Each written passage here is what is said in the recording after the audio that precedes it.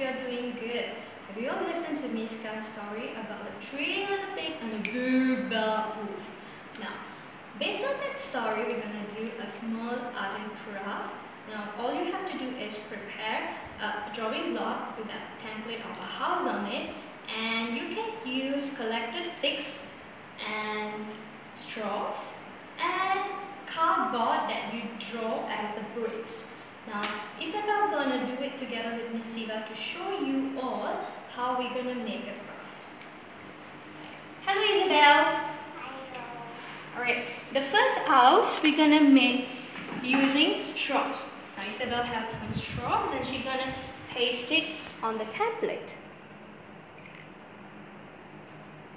And I'm gonna help Isabel to make the house.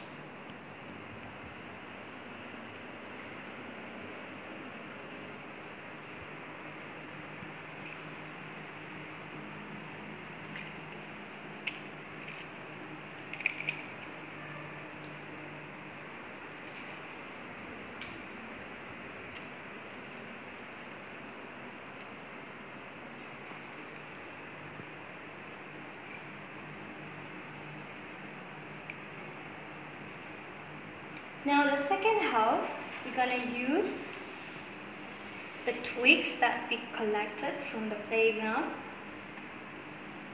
to create the second house.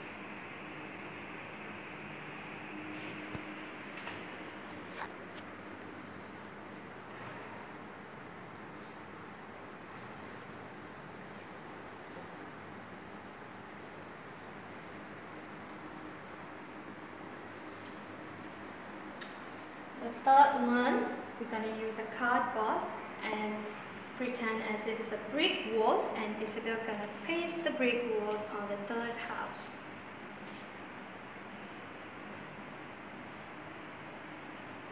Yay! Now can you tell me which pig's house stays stronger?